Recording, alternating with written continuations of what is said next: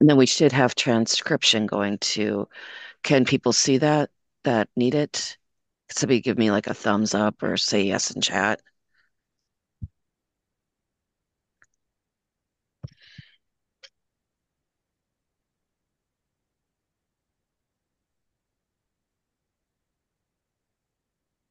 The transcription option did come up. Yes, ma'am. Okay, thank you. Yes. Just want to make sure that anybody that needs it has it.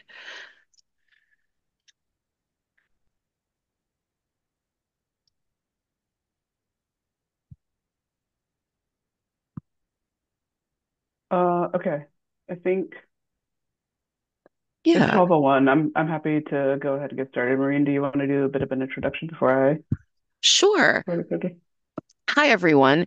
Welcome to the Deed um, 32 hour work week campaign um, information session. Um, with us, we have Amber Alton. They are a Deed employee, but they are also active in this 32 hour work week campaign. Just a little bit of background on this. I just want to make sure that um, people understand that this is a grassroots campaign happening with MAPE members to um, get this to be a negotiations platform thing that gets negotiated in our contract. This is not something coming from Deed.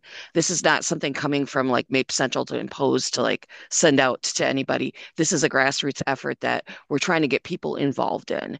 And so with that, um, I'm going to turn this over to Amber, give them a chance to introduce themselves and um, talk a little bit about um, what they're going to present to us.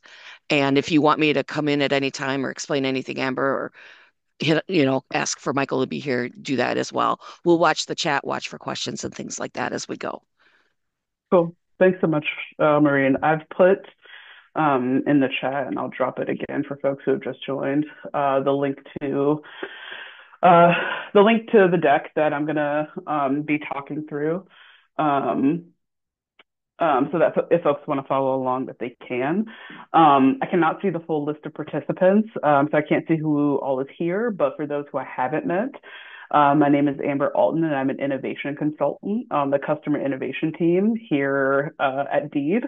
Um, and I am also uh, involved with the the 32 hour uh, work week campaign. So um, what I'm going to do today is talk um, talk a bit about the movement and and um, uh, um, and demonstrate why why this work is important uh, and um, and some of the actions that are happening around it. Um, it's really our hope with this um, information session to better inform folks about um, about the campaign, about what's happening, send in a master contract for a 34 hour work week. Okay. Uh, just reading the chat here.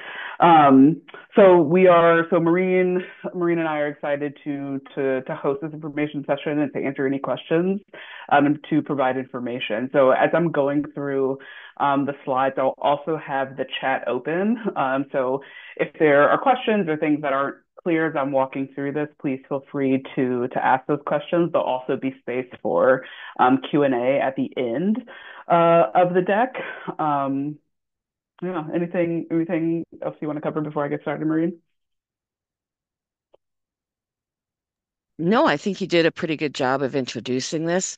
I'm excited to um, talk more about this with folks at the end of this to find out what questions you might have. Cool. Cool. So I think it's important to get started with a strong um, a strong goal statement uh, to really make clear what um, what the goal of this movement is. Uh, and so the goal is to establish a 32-hour work week with no pay or benefit reductions in the 2025 uh, contract negotiations. Um, and uh, I, I really love this goal statement because I think it it so perfectly and succinctly captures what it is that we're trying to do. Uh, we are trying to permanently move uh, from the 40 hour work week to a 32 hour work week as being full time work, but with absolutely no pay or benefit reductions uh, in the upcoming contract cycle. Um, uh, for for uh, this this work has primarily been focused in MAPE, but we are also working to collaborate with um, other unions that are that represent state workers, including AFSCME, including MMA, um, um, though the work that um, Maureen and I are involved with is primarily focused uh, in MAPE. Um, and so I, I, I, think that um, as you're thinking about what this movement is and what it wants to do, I will always uh, bring folks back to this to this goal statement because I think it really clearly outlines uh, what, the work that it is that we're trying to do. And so I think the the next question that flows from that is why 30, right? Um, so there is a there is a growing movement uh, in the U.S. and beyond to shift to a 32-hour work week in response to increased productivity. Um, so many of us are are familiar with the 40 hour work week as being normal and being what's standard. Um, but you know and as i'll show here in a minute you know we've had the 42 hour work week the 40 hour work week for a really long time uh, and we haven't um, move to address uh, how how work has shifted and how it's changed and what the different dynamics are. And so we in this movement are advocating for a 32-hour work week because um, we all believe that time is as important a benefit as pay, as health benefits, as retirement, and as PTO, right? Because um, you know, think about what you could do with an extra eight hours in your week, right? How much how much more time could you spend with your loved ones? How much more time could you spend uh, taking you know doing care work for children or for parents? And so really, this movement movement is is about um, recognizing the the the changing and the shifting dynamics of of what work is uh, and updating our our work week to be responsive to that. And so you know, just as I talked about, you know, what what folks could do with some of that extra time. Uh, you know, there are there are so many benefits associated with the 32 hour work week. Among them is reduced burnout, right? It's more time um, for uh, for us to recover from from from the important intensive work we do to make um, to deliver services in this state, right? It could give us more time um, uh, and reduce the burnout that so many of us feel we get some of our lives back. Um, you know, the a 32 hour work week would work out to an extra 52 days off per year, right? Um, you know, as Michael, as Michael uh, put in chat, uh, it would give us more time to get, it would give him more time to get back into exercising more regularly. Um, being in office kind of killed that limited capacity. Um, Jack has also noted that Jack's asking a question here that's saying if we worked a 32 hour work week, would we receive OT for anything over 32 or will we still have to take flex time? Um, that's a really important question. Maureen, do you want to address it now or do you want to wait until the end? Let's address it now. Um, okay. Well, the way that the contract um, is currently written, you know, overtime comes in at different um, times. And um, so the way overtime works out, it is based on a 40 hour week. It would have to change to a 32 hour week. But, you know, sometimes exempt employees still have to balance, right? Um, because they don't get paid overtime for anything over 32 or 40 hours, you know, the way it sits right now. So unless we change some of that language too, you know, there'd mm-hmm. still be that balancing aspect of the hours, especially for exempt folks. But um, anybody in a non exempt position that was asked to work more than their scheduled hours, you know, right. and that met the other things under the contract would theoretically get um, overtime after 32 hours, you know, as long as they didn't have like sick leave or something in there that, you know, right. went against their um, 32 hours. Does that make sense? Yeah, I think, I think, um, Maureen, what you're saying, and Greg, since we are hourly and not salary, will we get paid for only 32 hours per week? So, Greg, that's a good question. So, and I think it builds off of Jack's questions. What would happen ideally is that wait your your um your hourly wage would be raised so that you would be only being paid for 32 hours 32 hours per week but it would be still equivalent to working 40 hours per week. So so to answer your question, yes, but the wage itself would go up. So then the value of those 32 hours would be more.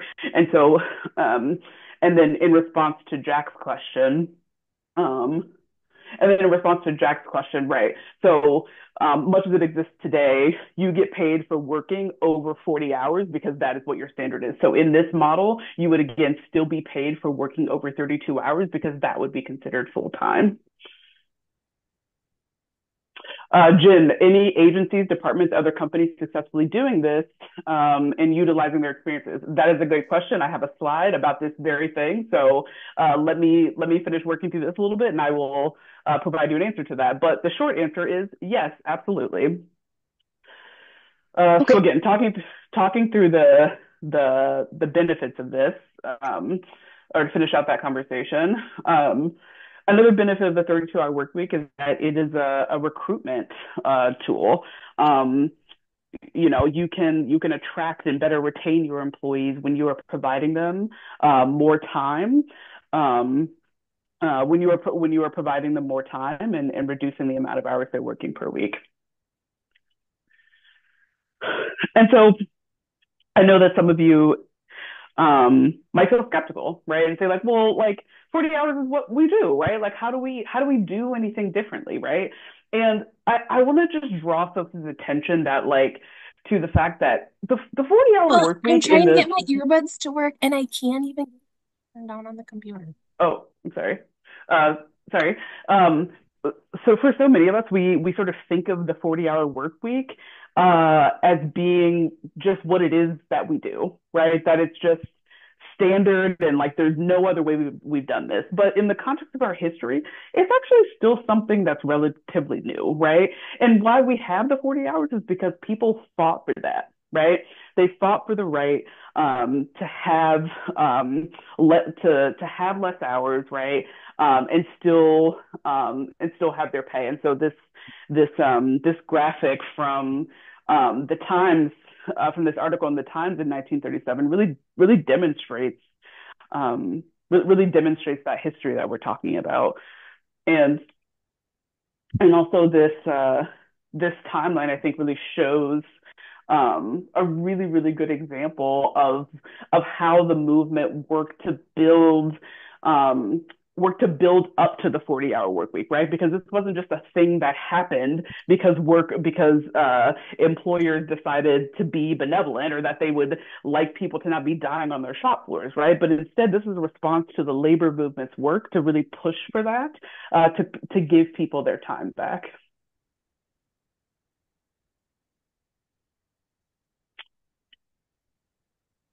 And and so to to I'm sorry, to to Jen's point earlier, um, you know, if there are there agencies, departments, or companies doing this, right? Um, we know the 32 hour work week is possible because it's happening all across the United States, right? This is not, um, uh, you know, this is not a, uh, a niche or a, um, uh, a sort of far out proposition. Like this is work that is happening today. Um, so, um, you know, putting together this timeline showing, we've put together this timeline showing different um, countries, uh, different organizations and companies and departments that have implemented a 32 hour work week. Um, and we can see here um, um the diversity of the types of companies. So Cindy, I see your question here. Can you give an example of the type of companies who've implemented this? Um, has it been in the private sector or has it occurred in the public sector? So you can see from this timeline, the city of Newburgh Heights uh, in Ohio, the Golden, Colorado Police Department, right? So we're seeing the, the Carlton School District in Minnesota, right? We are seeing the 32 hour work week happen in both the public and the private sector. And this this this graphic is one that I screenshotted last week.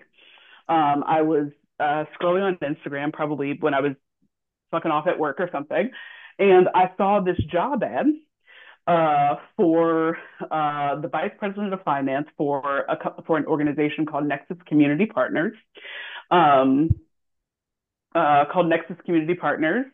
Um, that's based in St. Paul, Minnesota, that's offering uh, a full time salary to their vice president of finance at 32 hours a week. Right. So these, there are jobs being posted today actively in this state where people are expected to work 32 hours as the, as the norm. right? And so I think that these examples highlight um, the the way in which people the, the way in which both companies, both in the public and the private sector, are able to reduce the number of full-time hours that people are working and still be able to operate successfully. And Cassie, I see your point in the chat um, uh, where there's some skepticism around um, the 32 hour work, the 32 hour work week in the Carlton School District. Uh, and I think the thing that I would maybe highlight there is that, you know, there wasn't that long ago where a four day school week uh, uh, was a was a sort of proposition that people couldn't imagine. Uh, but I imagine that still teachers are able to do the work that um, uh, that that needs to be done in that space, right? And even like recognizing what giving that extra day back could mean for teachers and for students, I think is important.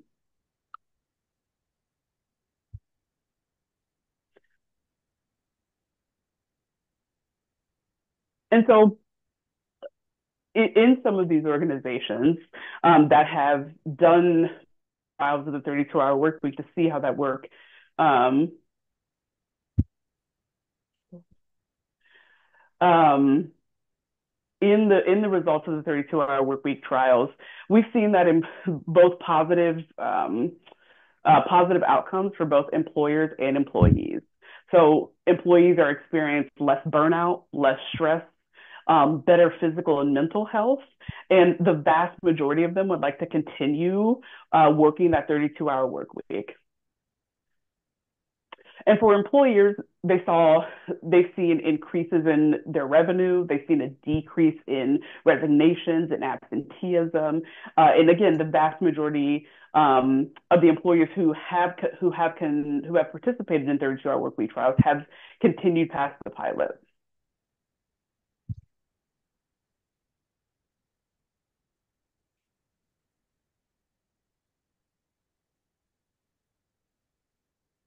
And so um, I'm not sure if I am.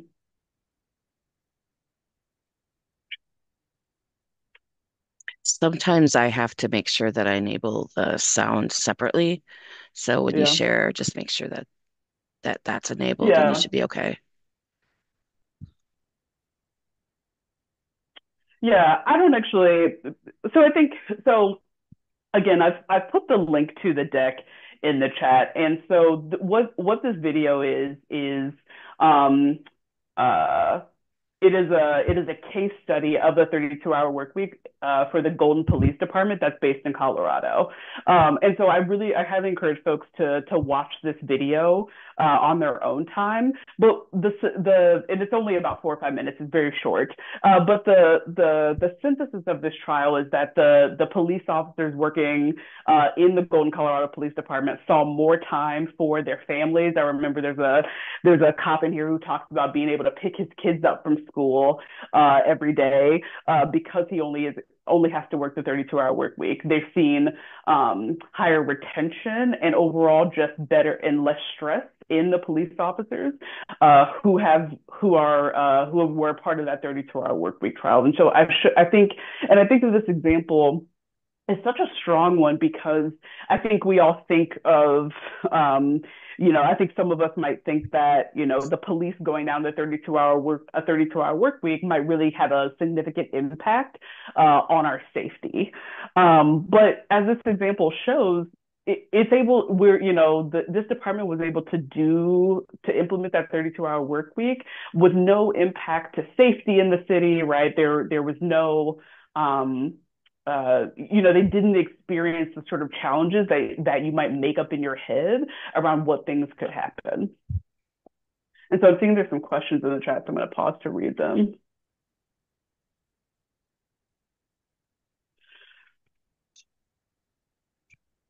So Sharon asked the question, and I'll voice over it. She says, I'm wondering how this would affect getting work done. Would more people have to be hired to make up the lost time?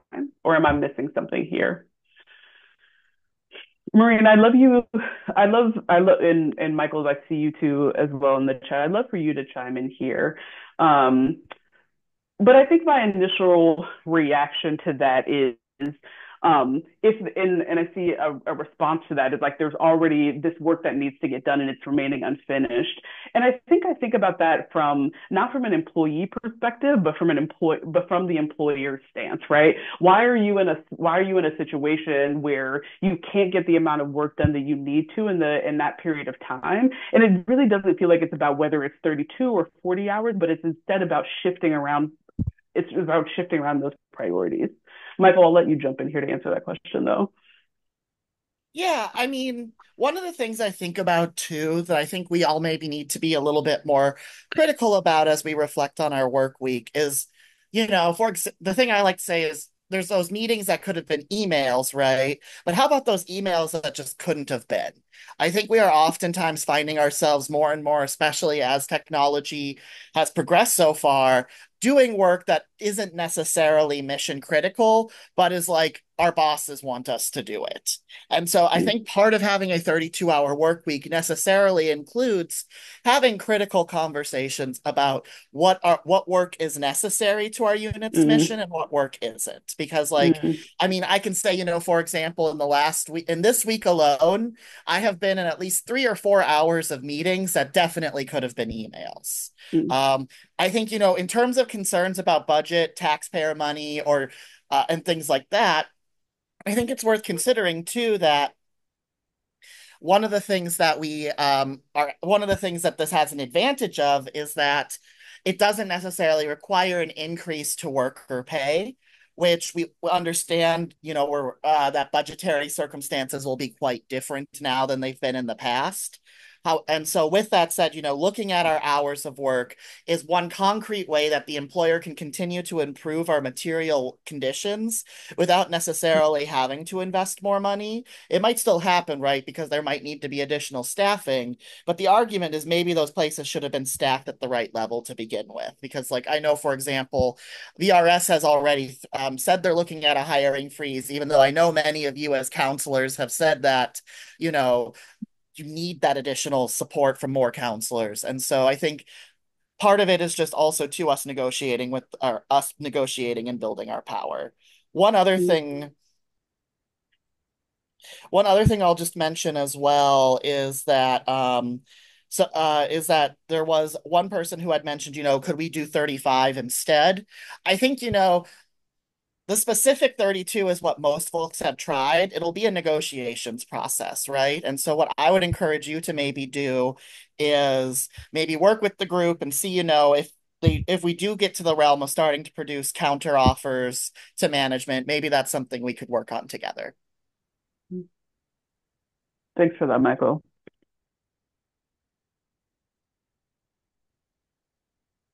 And so I'll Go forward here. So I'll talk a bit. So what I've talked to uh, talked about up until this point is um, around some of the why of the 32 hours and where uh, and where this work has been implemented. And so now I'll talk about um, the the sort of structure of the campaign that as it's taking shape at MAPE and some of the work that's happening um, uh, to build to build uh, power and pressure for the 32 hour work week. So uh, we have a messaging team um, whose goal is working on developing targeted messaging to deliver uh, deliver the narrative of a 32-hour work week to answer many of the questions that we are addressing here today, um, and really to um, uh, uh, uh and really to uh, build the power and the pressure um, to to push this movement forward. There's a data and systems team that's using systems and different technologies to deliver, disseminate and deliver uh, a data-driven message. There's a relational organizing team that uh, is focused on um, building leaders in every region to, to take some of these actions and build power. There's an event planning team that's focused on holding events uh, to connect um, groups across Minnesota um, to share information. Uh, and then there's a union coalition team um, um, that is focused on um, uh, connecting with uh, other unions outside of MAPE to build strength and align priorities. So this looks like working with AFSCME and MMA and other uh, unions around the state to work to, to, to build the power across all of these unions. So Sam, I see you have a question that Michael has Michael has answered, but I think it's a good one, so I'll say it aloud. Um, so Sam asked, what would a 32 hour work week look like? Working only six hours per day instead of eight, working only four hours per week. Would everyone be taking the same days off if we were doing it four days per week? Um, and then Michael has a, Michael's response to this, which I also think is good, says, um, this will likely differ based on department business needs. Some might do a whole day off, others might just cut time off for the existing days. Um, and so, uh, and I think that's a that's a really good point um, what that 32 hour work week looks like. There ideally would be flexibility there for um, for departments to do what makes sense for them, you know, because we can we know that there are some departments, you know, for example, like UI um, that takes phone calls. And so you need that, you need that staffing throughout the week. And so then you would have um, just the ability for folks to be able, for different departments um, to, to really flex to be, to meet their business needs. Uh, and yes, Cassie, the the the intent is to um, for this to be across the board, across the state, across the state enterprise.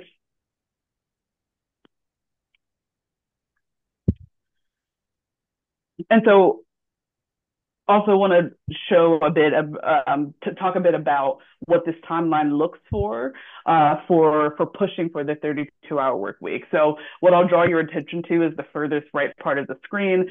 So June 30th, 2025. Um, um, so June 30th, 2025 is when the contract would expire, when our current contract expires. And so all of the work then to the left of that is working to build power um, uh, uh, ahead of those contract negotiations. So what we're doing now is working to advocate for the 32-hour work week uh, ahead of delegate assembly and, head, and, ahead of the negotiator convention, um, which are um, both of those things are, are, sort of governing bodies of MAPE where priorities for for upcoming contract ne negotiations are decided. Um, and then, go ahead, Maureen.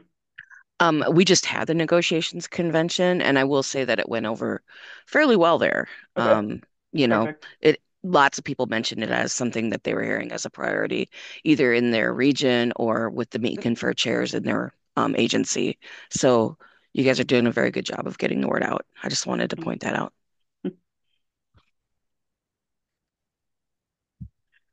Michael, I'd love for you to, if you could, if you're willing to, come off mute um, and respond uh, and voice over the response that you just gave to Tanisha's question, because I think many other folks will have the same one.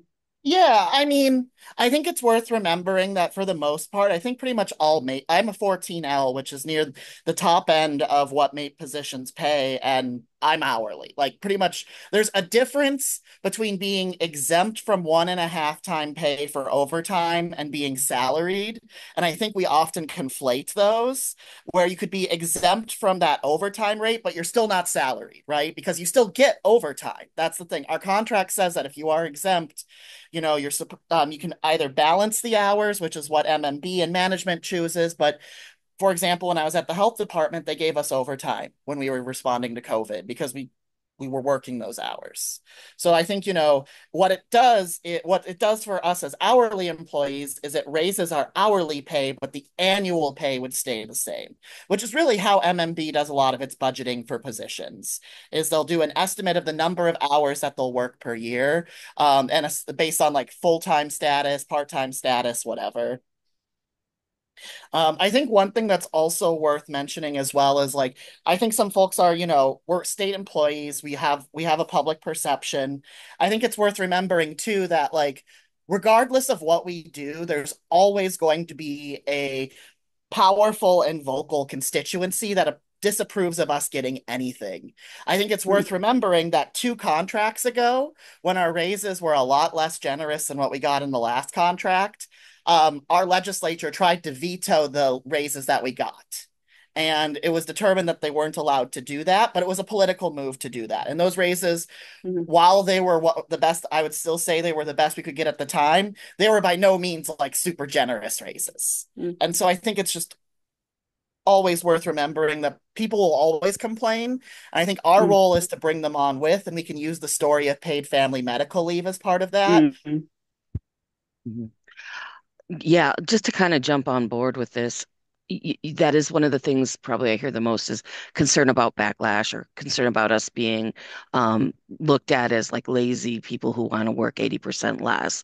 But part of the framing of this that we need to be really consistent about is any place this has been done, productivity has gone up. So there is a win-win on this for the employer. It's not just for us.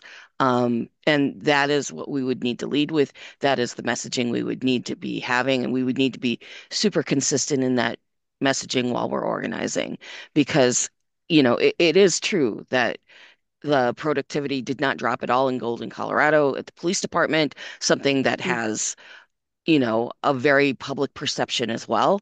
And actually, the community felt more served by them after they um, took on the 32 hour work week.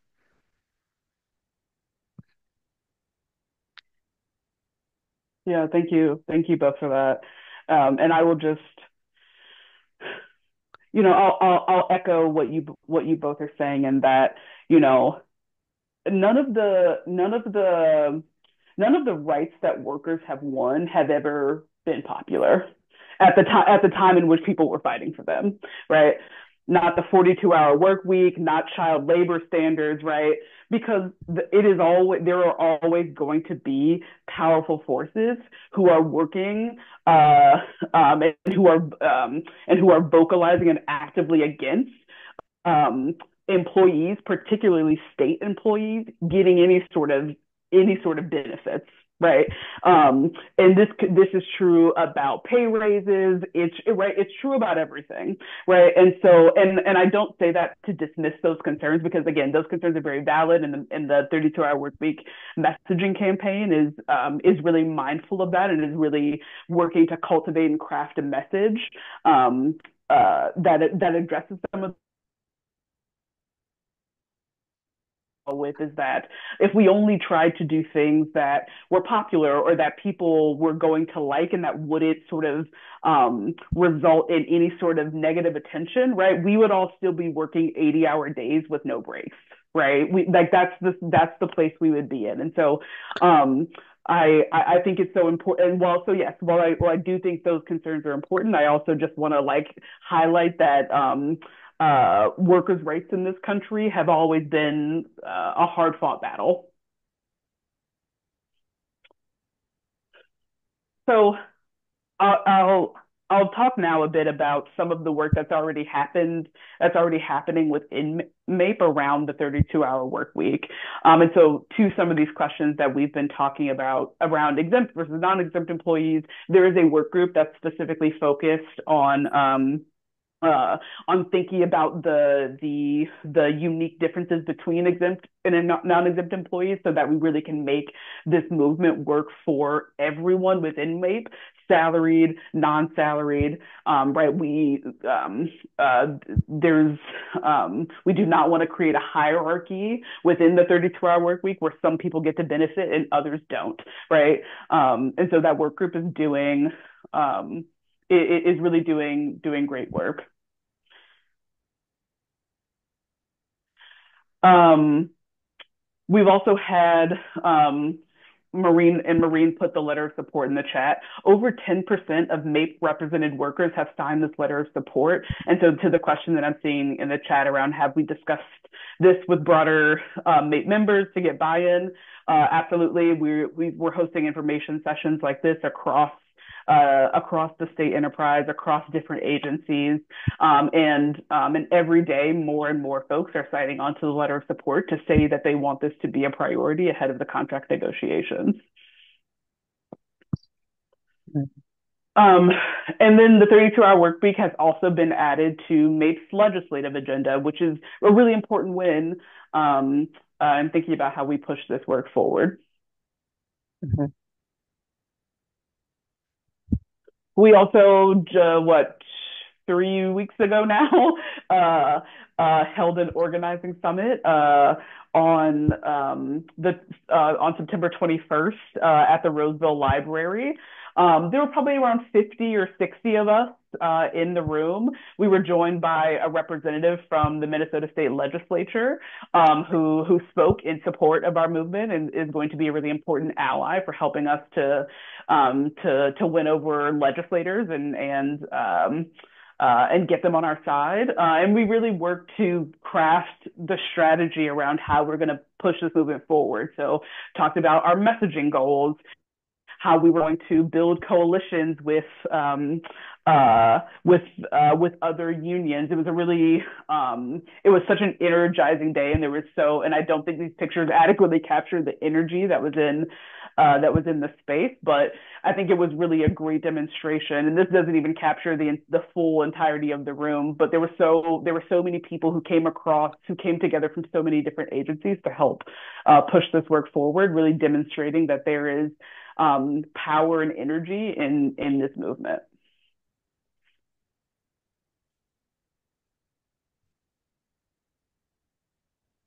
Oh, Maureen, thank you. Amanda Hemmingsen-Jaeger, that's her name. I, I can remember.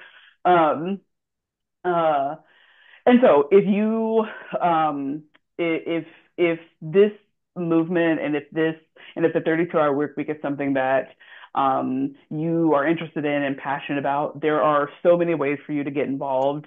Um, and again, I'm going to um, drop the link to this deck uh, in the chat. Um, you can uh, click the links here. You can learn more about the 32 hour workweek movement, including seeing the, the FAQ, which addresses some of the, the questions that we've seen here today. Um, we are also going to have another organizing summit that is uh, virtual uh, and in the in in the evening, uh, so that more people are able to to join us. Um, you can do what uh, me, Marina, and Michael are doing. You you can host an information session to um, to inform folks and to to um, help them and to answer some of these questions.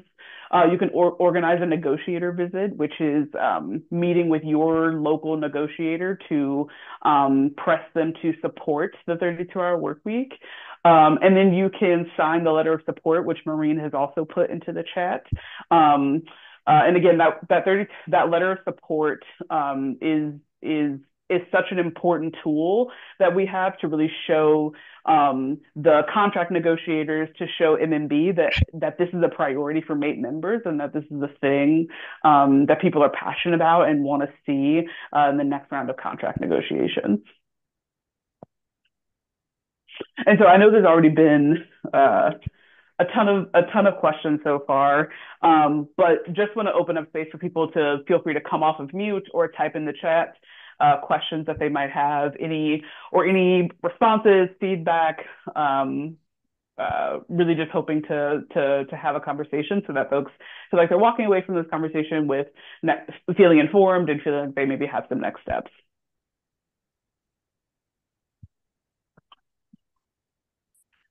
While you're thinking about that, um, those of you that are here, do you have friends that couldn't make it? Do you think we should try to do this again in a couple weeks for DEED?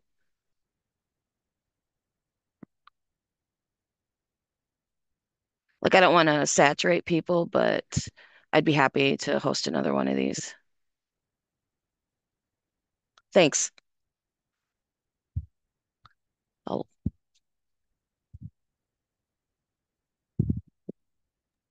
You can definitely forward the information and share the recording, Alana. For sure. Um, I think what we'll try to do is maybe get it posted on the DEED Meet and Confers website on the MAPE webpage as well. hmm We'll try. Um, I thought I saw a hand, but then it was gone. Okay. That person wants to ask a question. Keep it up a little longer so I can see you. So-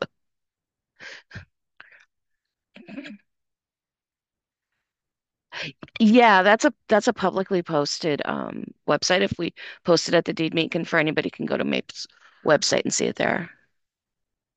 So yes.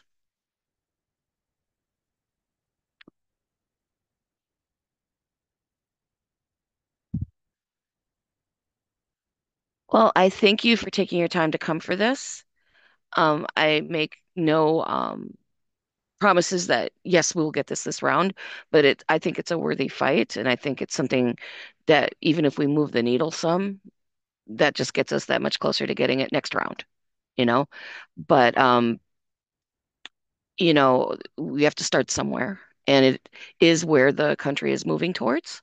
And um, we would be the biggest um, group of people to win this if we did. And so it would really help it um, move out to other areas too if we did this. So it would be uh, a form of common good bargaining as well.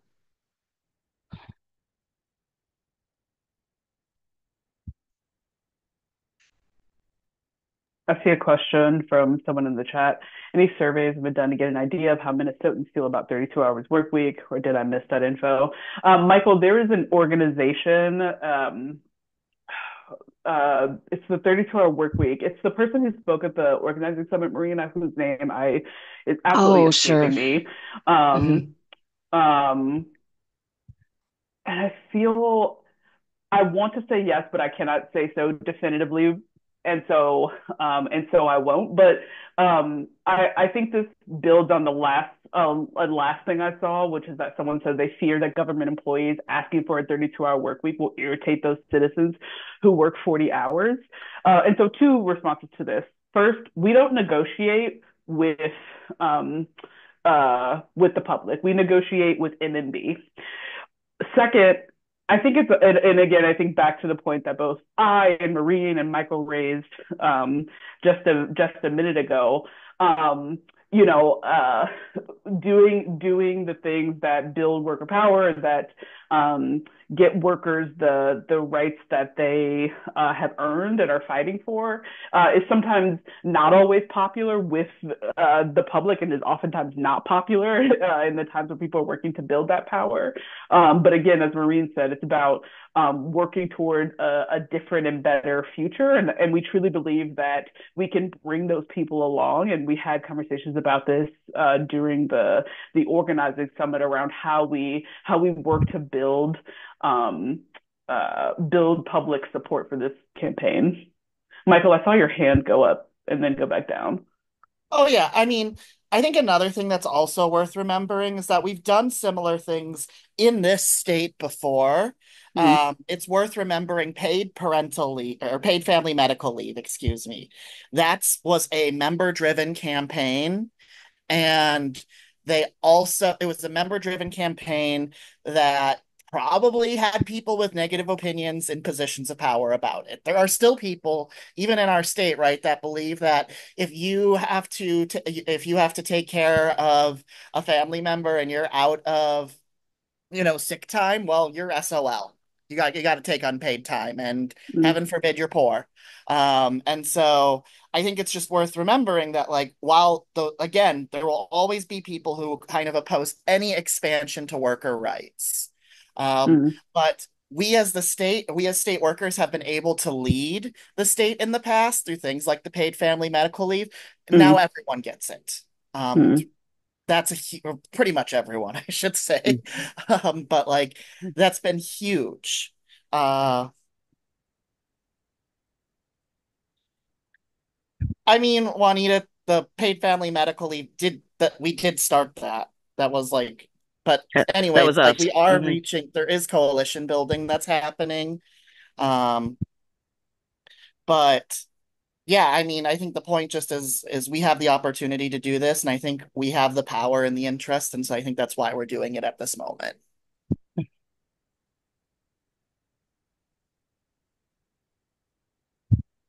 Uh, this is Rob. I have a question. Yeah, go ahead, Robert. So, what if MMB says, sure, we'll give you the 32 hour work week, but everybody has to go back to the office? No more telecommute, telework. Well, that they have difficulty with that. We have some agencies that don't even have space for the people they have. Mm-hmm. Um, Yeah, I know I'm one of them. yeah. So, you know, the real the reality is they can't, I mean, yes, they could do that, but we one don't have to accept anything. We don't have to say, oh yes, we will take that. But two, they don't have any place to put like most of revenue a good portion of DHS, um, some of our own agency. Um, you know, Patty, earlier you said, you know, 40% of the people, 40% of the time, you know, they can't, they can only telework. That's UI, that and basically only UI. That's in 40%, you know, that's only able to telework 40% of the time. A good portion mm. of our agency doesn't even have a place to sit if they tried to come into the office. Yeah. Michael. Good point. I think another thing that's worth mentioning is yeah, I I think we can get lost in hypotheticals and don't get me Mhm. wrong, MMB's a jerk, but they would never propose that. And the reason why Mhm. they would never propose that is because MMB's style is to leave things vague. They would rather try to weaken existing language than just try to get rid of it entirely. That's just not they they just that's just not how it would work. And I think we always have to kind of course correct ourselves because we can get stuck in like some of those what ifs that won't happen. But let's say they choose something else. Let's say, you know, a thing they've constantly tried to get is the ability to take steps away from us as discipline. I do not think our negotiations team is Mhm. in the interest of do of accepting poison pills for a benefit like this because they I'm pretty I feel pretty confident as a former negotiator and I think Maureen as another current and former negotiator would agree that like they're not going to try to do a proposal like that that is intentionally meant to divide our union. Mhm. Ooh, they sometimes do divisive ones, but we have that ability to say no. Yeah. Well, no, that Mm. like our team wouldn't accept that. One that's like Right. intentionally meant to divide our union. That is correct. And I mean, we didn't back down on CERP when that was, um, that's the Corrections Early Retirement Program, for those of you that might not be aware of that, even though that affected a small portion of people, because that's not what you do. You don't leave your Mm. brothers and sisters behind. So um, we wouldn't be trying to make it worse for anyone else to get a benefit. Mhm.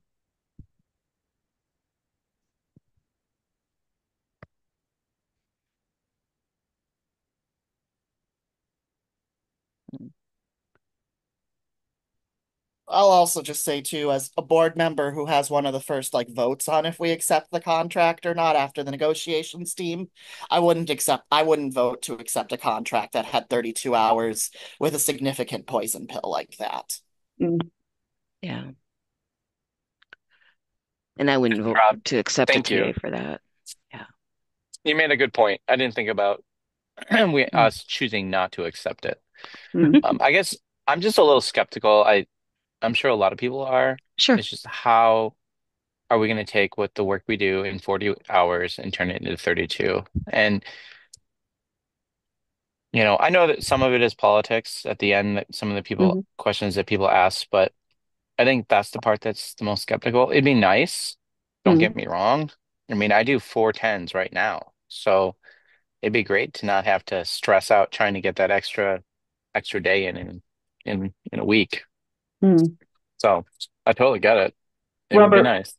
Robert, you said you said you're skeptical. Can you say more as to why?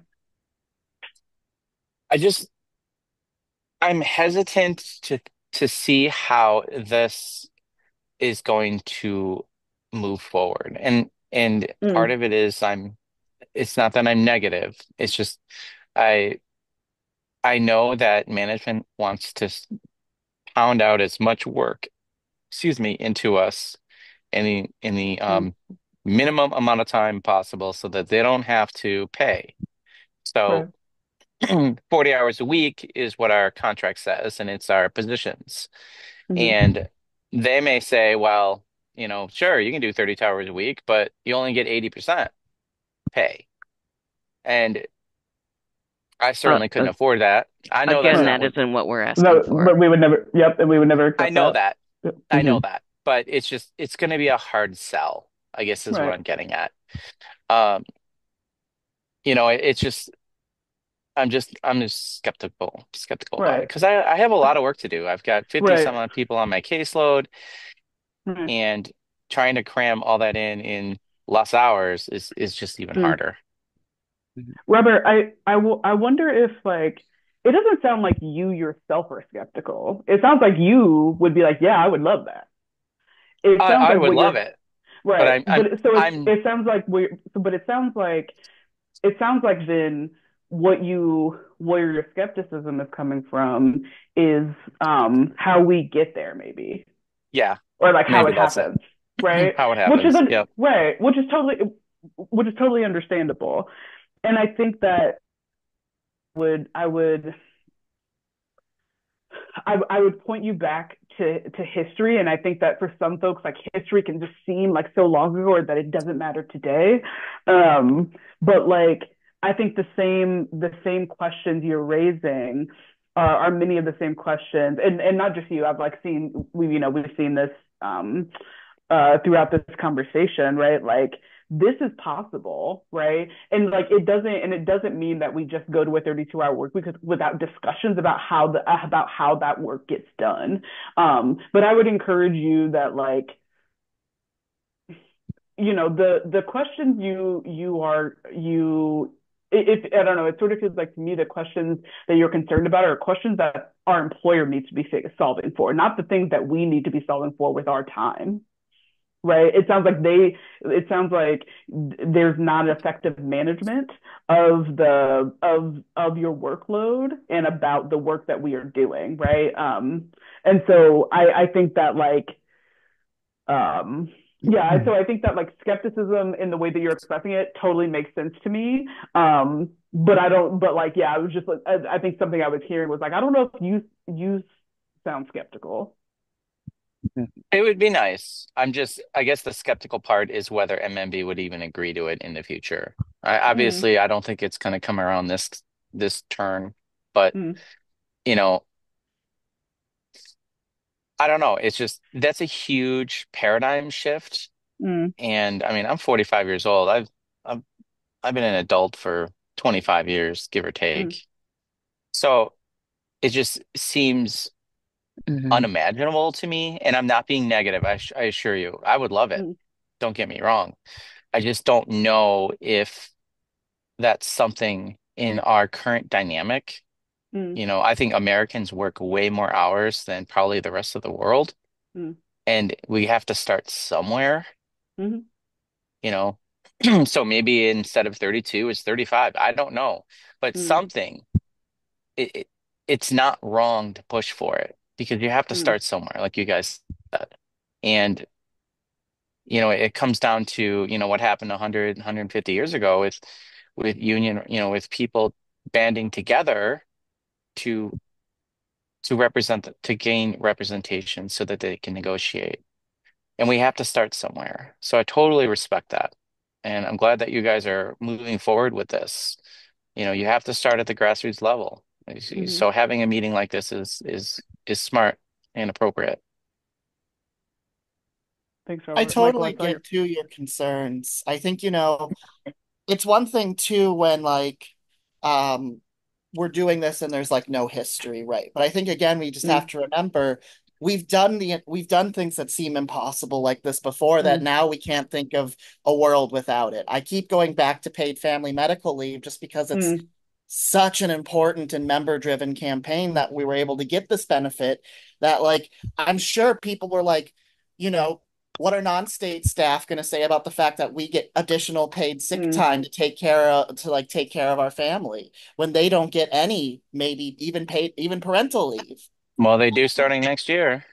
exactly. Right, and so uh So and you, it's you got to start somewhere. right, yeah. And so I think you know it's natural to feel like is this even possible but I think it's also just worth remembering too that we've done the impo what seemed impossible before and that Mm, with member power or yeah they said we couldn't work remotely Right. Um, I remember seven years ago when I first started, I was working one day a week in the off. I was working one day a week remotely, and I had to fight for that. Like I Oh, had I to bet show you that I was doing above 40 hours worth of productivity, etc. And so I think, you know, now and now I'm I'm working much more remote. And so I think as we feel those like can it be done, I think we can just remind ourselves that we are a powerful union. And when we come together and can fight for something together, we can accomplish things that maybe we thought were impossible. This is true. I think someone else has their hand up as well. Go ahead. Yeah, this is uh, Chris Um, I just wanted to uh, say that uh, I don't believe any of our negotiations with them You sound really far away, and I'm having a lot of difficulty hearing you. The uh, unemployment or uh, MMB, uh, none of our requests are ever easy. Mm.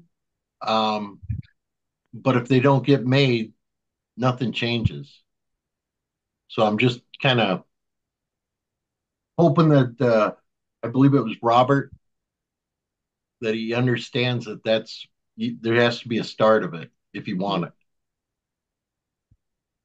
So Us doing this for what you guys advocacy is, doing. yeah, I'm sorry. I thought you were done. Go ahead. No, thanks for what you guys been doing. Yeah. So the start of this campaign and this advocacy is part of the ways that we do that paradigm shift. And as we keep building it, there will be more concrete ways to do this. I mean, there will need to be contract language that's written. There will need to be contract language that's written to like support it in other ways, you know, making sure that, um, you know, overtime doesn't go crazy for exempt folks and things like that. So there are things that would have to happen to make this happen, but we just work towards doing that.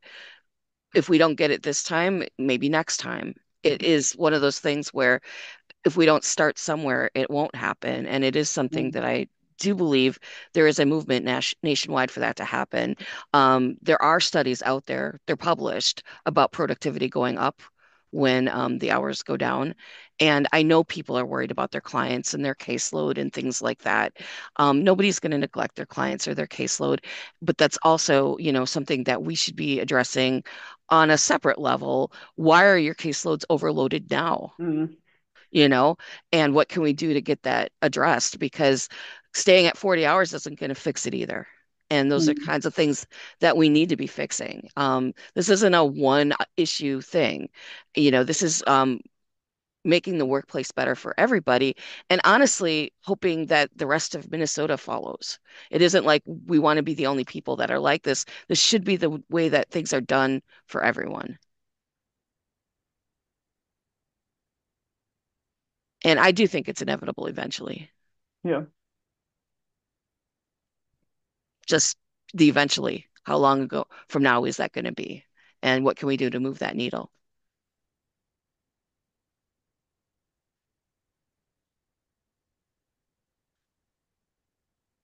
Yes. Let's try to get some um, work done on people who are, are currently overworked and having trouble serving their clients because that's something that we should be helping with now. We don't need to wait for the next contract. Right. Um, so I And think, oh, oh, sorry, go ahead. No, go ahead, I just want to reemphasize again, no one in this room, like none of us are paid enough to be giving our boss consistent mandatory unpaid overtime. And so please, if you are currently in a situation where you're like, I'm overworked, I'm burning out, you have a right to a workload meet and confer, and we can work with you on that. So please reach out to us.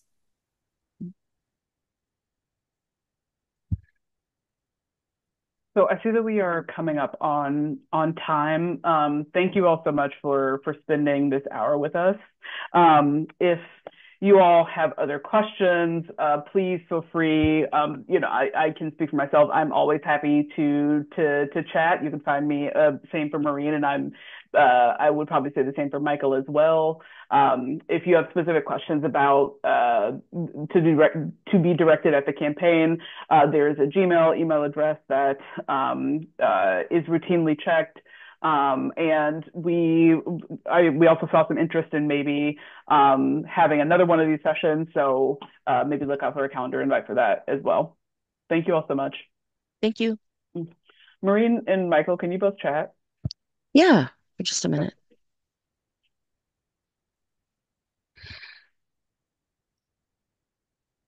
We'll wait for folks to hop off.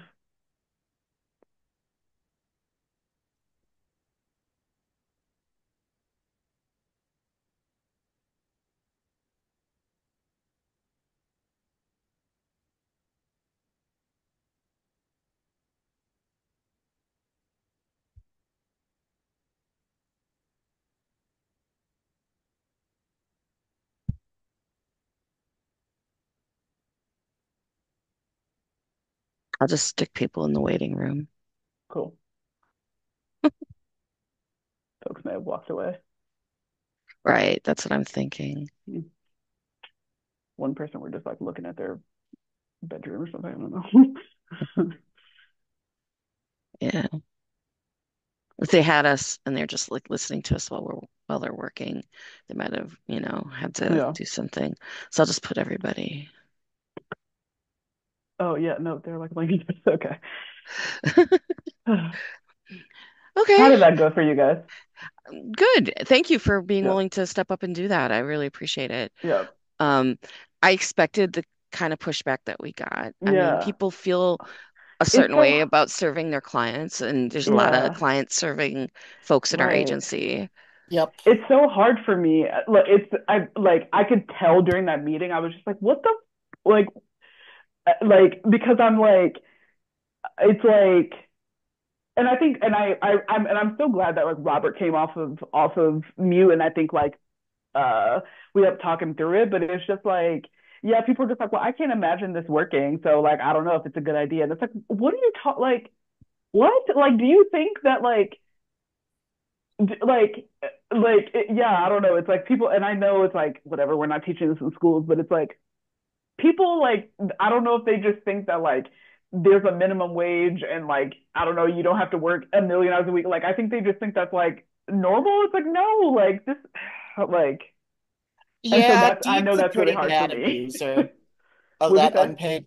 DEED's a pretty bad abuser of that unpaid overtime. mm, So I think there's just kind of an accept, like there's just a like, this is how it's always, and that's why mm, I just kept re-emphasizing because no one in our bargaining unit makes nearly enough money for un for mandatory unpaid overtime.